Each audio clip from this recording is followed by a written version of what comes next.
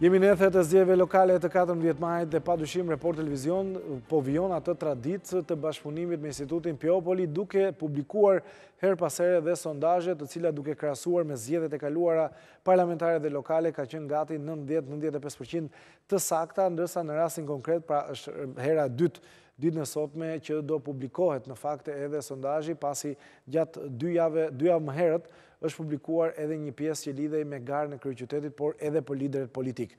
Pikërisht kolegu Denis Minga nga Repolitics është me mua në studio për të folur për disa pika që kanë dalë deri tani pasi i plotë pjesa e dytë e sondazhit do publikohet sot në darkë. Pa dyshim dhe pjesa më interesante, Arbër, sidomos për Tiranën, pasi për herë të parë sondohen 6 kandidatë, do të shohim se cila është... Janë të gjithë kandidatët. Të gjithë kandidatët e mundshëm, Piepoli arriti që pikërisht të marrë opinionet e qytetarëve menjëherë sapo u zyrtarizua dhe Marko Dajti, ai ka qenë kandidati i fundit enigmë nëse do ishte pjesë e kryeqytetit apo jo, kështu që do kemi sot një panoramë më të qartë për kohën kur ne flasim, pra si është opinioni i qytetarëve. Gjatë emisionit Kontrast me kolegun Vangjeli kemi nxjerrë dhe kemi analizuar një pikë të, të pjesës për Tiranën, pra sondazhi i sotëm është i ndarë në tre pjesë, tre grup pyetjesh, një për grup për kryeqytetin, grupi i dytë i pyetjeve për Durrësin dhe grupi i tretë për Shkodrën. Ne kemi publikuar sot një pjesë, një pyetje të grupit të pyetjeve nga nga nga Tirana që i referohej pikërisht asaj që ka qenë ndoshta më më e më e reklamuara, po, pikërisht, më e reklamuara nga nga qoftë edhe falë edhe sulmeve që kanë ardhur nga mazhoranca në raport me idenë e Belind Këlliçit për ta patur transportin falas, nëse regjia na i mundëson e mund ta rishohim, është pikërisht kjo pyetja që u është drejtuar qytetarëve, gjykoni të realizueshëm propozimin e kandidatit Këlliçi për të bërë falas transportin publik. Dyzet e tre për qind mendojnë se është i realizueshëm, dyzet e shtatë nuk mendojnë, ndërkohë dhjetë për qind nuk e di. Pra është një përqindje e lartë që në një farë mënyrë duket sido që të jetë... Po diferenca është shumë e ulët, me sa shikoj. Diku te vetëm sido që të jetë... 4 për qind... Belind Këlliçi, ia ka arritur, ia ka arritur të krijojë një tezë, se sado... Një tezë të majtë, duhet theksuar. Një tezë, pavarësisht se mund të jetë një tezë e majtë, çdo gjë falas është e majtë, pak a shumë kështu Kështu flitet, megjithatë, duket sikur ka ngjitur në një farë mënyre, fakti që 43 për qind, sipas sondazhit të Piepolit, mendojnë që është i realizueshëm në një farë mënyre është një përqindje e lartë. Kështu që do shohim sot se sa përqind do ketë Belind Këlliçi në raport me garën. Nëse kjo përqindje do jetë edhe për kandidatin, se kjo është vetëm për propozim. Kjo është, po, kjo është një propozim që... Që nuk do të thotë domosdoshmërisht është votë për kandidatin. Sigurisht, se është një transport falas, mund të joshë sidomos sektorin e pensionistëve, apo sektorin e shumë njerëzve që votojnë majtas, është një është një propozim që josh, kështu që nga kjo pikëpamje mund të marrë vota edhe majtas edhe djathtas si, si, si propozim. Numri kampionimit, cili ka qënë Denis kësaj radhe? Këtë nuk, nuk po e zbuloj, sepse zakonisht këto janë pyetje që unë ia bëj pikërisht zëvendëspresidentit, keni, keni që ta kemi në lidhje të drejtpërdrejtë, zëvendëspresidentin e, e institutit po, Piepoli, po, cili po në mënyrë të detajuar, jo, është ai që është ekspert i fushës, se në fund fundit bëjmë thjesht paraqitjen e të dhënave që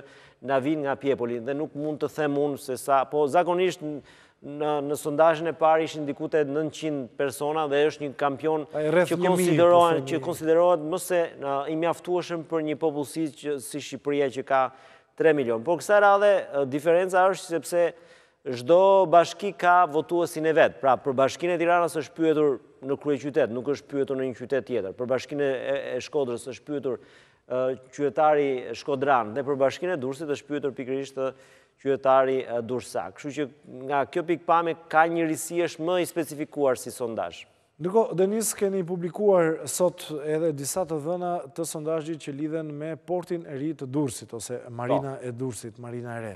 Çfarë thonë qytetarët? Ndalemi pak edhe te grafikët me anë të regjisë. Besoj ne kemi e kemi publikuar gjatë mesditës, kështu që është është leja të publikohet deri në nuk ka ndonjë mund ta themi. Mund ta themi. Sipas jush kryetari i ardhshëm i bashkisë pa specifikuar se nëse do ishte i majtë apo i djathtë, dy janë kandidatët në Durrës Arbër dhe këtu le të themi opinioni i durrsakëve është bindshëm në favor të portit të Durrësit. Duket sikur durrsakët janë pro projektit pavarësisht se kush do të vijë në bashki. Projekti duhet thënë është në një farë mënyre është projekt tërësisht i Ramës ose i qeverisë, le të themi, kur them i Ramës, kuptimin që ai e ka mbështetur këtë projekt, se projekti është projekti i Alabarit, po ai që i ka dhënë shtysë projektit po. është pikërisht kryeministri dhe me sa duket Është, është, janë bindur durrsakët që pavarësisht se kush është në bashki, është një projekt që duhet, duhet çuar përpara. Ajo që mund të bëjë diferencën pastaj Arbër, do ishte në rast se do kishim një fitore të kandidatit Igli Cara, mund krijojë apo jo një konflikt me... Zoti Cara ka qenë kundër që nga dita e parë në fakt. E, e ka shprehur publikisht, që mund të krijojë një konflikt me qeverinë qendrore në raport me, me projektin. Por besoj edhe për Durrësin, do kemi sot të, të dhënat e para, Durrësi ndryshe nga... Dhe Durrësi brenda, bashkë po, me Shkodrën... Janë dy kandidatët, të cilët zonja Sako e Partisë Socialiste dhe zoti Cara i partisë i koalicionit Bashkë Fitojmë, i koalicionit Berisha Meta, këtu nuk ka në njëfarë mënyre devijim të votës tek Partia Demokratike, kështu që është një garë e fortë dhe besoj do shohim sot se si do jetë rezultati. Igli Cara është një nga eksponentët e vjetër, tipik kandidat politik, i mirëfilltë politik ish Partisë Demokratike tani nuk e di se si do ta quajmë, po po e quajmë koalicionit Bashkë Fitojmë, kështu që mbetet për t'u parë me interes se si do të jenë të dhënat e Durrësit. E njëjta gjë është dhe vlen edhe për Shkodrën, edhe në Shkodër ka dy kandidatë, Bardh Spahia dhe pikërisht dhe kandidati i Partisë Socialiste. Për Durrësin, një pyetje Denis, për Durrësin, po, dhe për Shkodrën, keni përfshirë edhe gjitha bashkitë e tjera të qarkut, apo bëhet fjalë vetëm për bashkinë, jo, qendrore të qarkut? Jo, vetëm për bashkinë, për bashkinë e Durrësit, bashkinë qendrore. Jo, qarku... A jo bashkitë që ka jo, jo, qarku? Kështu që, po, është vetëm, besoj, interesi më i madh i publikut është dhe ne do fokusohemi tek sondazhet e radhës vetëm për bashkitë më me interes, pra bashkitë madhore, po, ose po të themi bashkitë e nivelit të parë, 12 bashkitë që mund... Në qendër qarku, po, po, po. Për shembull, në sondazhin e radhës tjetër do kemi Elbasanin, që është një bashki shumë e rëndësishme, apo një bashki si, si Lezha, për shembull. Konkurron fort edhe, po, Rithemelimi, duhet theksuar me zotin Boçi. Pa, pa i hequr asgjë rëndësisë që mund të ketë një bashki si Përmeti, për shembull, apo një bashki si Patosi, ose një bashki si nuk e di si Hasi, por nuk e kanë vlerën edhe tek opinioni publik me bashkitë kryesore. Përveç bashkive, liderët politikë i kemi te sondazhi i sotëm? Jo, nuk i kemi, ne i kemi sonduar në... Dy javë më parë. Dy javë më parë, aty besoj nëse mund ta rikthejmë, por nuk e di ndoshta e gjejmë apo jo në këto minuta, aty Rama ishte lideri më i pëlqyer, pastaj vinte mos gaboj Berisha, Meta shumë pak i pëlqyer. Zoti Alibeaj ishte i treti, po, me 19%. Po. Alibeaj ishte diku te Po, ishte lideri i tretë dhe më pak nga të gjithë ishte pikërisht Meta dhe dhe Lulzim Basha. Lulzim Basha ndoshta edhe për shkak të Nuk është më, po zoti Meta ishte habi në fakt ai ato Tani Lulzim Basha, ne themi nuk është më, po ç'thotë Basha vet ose njerëzit përreth thonë që ai është aty pavarësisht se ka premtuar se do bëjë fushatë, do ta shohim, ai është deputeti i Tiranës dhe Do ta shohim nëse pas datës katërmbëdhjetë Lulzim Basha do të bëjë fushatë për Roland Bejkon.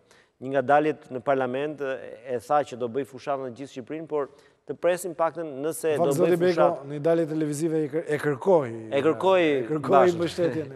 Po deri tani nuk ka mbështetje nga Basha. Paktën shumë takime s'kemi parë që ndoshta fushata fillon nesër në fakt zyrtarisht edhe mbetet për t'u parë. Denis para se të lë edhe me aktivitetet e tua dhe të përgatitesh Për emisionin e darkës, më jep edhe një koment për zgjedhjet si i shikon ku do jetë beteja më e fortë politike, apo këto do jenë Durrësi, Elbasani, Tirana, ndoshta edhe Shkodra. Durrësi, Elbasani, Shkodra, Lezha gjithashtu është një një bashki që sepse këto janë bashki te të cilat nuk ka dhe kandidat nga nga Partia Demokratike, mos gaboj, sidomos në Lezhë, në Lezhë, në Shkodër, në Durrës, Elbasan, jo mos gaboj për këto, këtu jemi të sigurt. Kështu që këto do jenë garat e vërteta Arbër. Pastaj pjesa e jugut, Korça gjithashtu është edhe Korça. Edhe Korça besoj do ketë garë, kurse pjesa kryesisht e jugut do dominohet nga socialistët si në Vlorë ku s'ka garë, në Sarandë gjithashtu. Unë mendoj, personalisht mendoj që garë do ketë edhe në Pavarësisht se nuk po i kushtohet një vëmendje e madhe, po do ketë edhe në Himarë.